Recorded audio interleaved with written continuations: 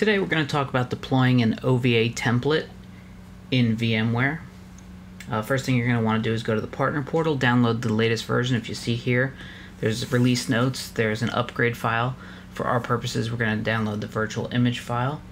It'll take a couple minutes to download, and once it downloads, you're going to go ahead and want to extract it. And make note of where you're saving it so you can pull it up later.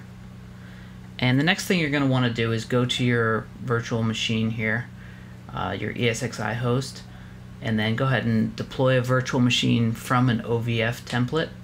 And go ahead and give that machine a name. And then we're going to go ahead and browse to that file we just extracted. And if you see it there, there's a .ova file. We're going to grab that and hit open. And then we're going to go ahead and hit next make sure we go ahead and click uh, thin provisioned and go ahead and hit finished. And this will take a couple minutes and when that's completed, which we'll go ahead and speed this up. And now that that's completed, you can go ahead and turn that on. You can see I already started mine. I'll go ahead and browse into the console.